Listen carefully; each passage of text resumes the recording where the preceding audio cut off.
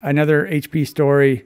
I don't know. HP is sort of shit the bed, actually. My dad bought another printer, just a regular printer. It was like a super cheap one, HP printer. And it was one of those ones where apparently uh, it's like, like this was a few years ago, I guess, maybe two or three, maybe probably two. But one of the features of the printer was that it would order ink for you. It would reorder ink for you. So I, I'm assuming like the printer would hook into your Wi-Fi or whatever, your your wireless network, and it would send like a. It, you would have to, I guess, like attach a credit card to, if it's on an account or something, and so it would send a signal to uh, to HP, I guess that that it needs ink.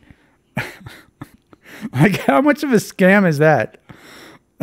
it's just like ordering shit for you without even asking you. So I was like, fuck that. I was so okay, the whole the whole reason I'm telling the story is because he couldn't get this printer working. So he, he was just going to use it for himself and then so he wanted me to to get it working for him. And so I'm trying to do this because uh, I was really familiar with the plotter because I was that, that was part of my job. And so trying to get this goddamn printer working. And I, I was explicitly avoiding creating a, an account so that this stupid printer would would like be ordering ink. So I was of trying to avoid that, and it would not work. I could not get it to work without creating an account, creating an account, and like doing all the horse shit that, all the stupid bullshit that it wanted you to do. So that's that's HP these days, I guess. Congratulations, Hewlett Packard. You've shit the bed. I don't know. Maybe they're better now. I'm not sure. But after that, he ended up buying an Epson printer, and I think he's happy with that.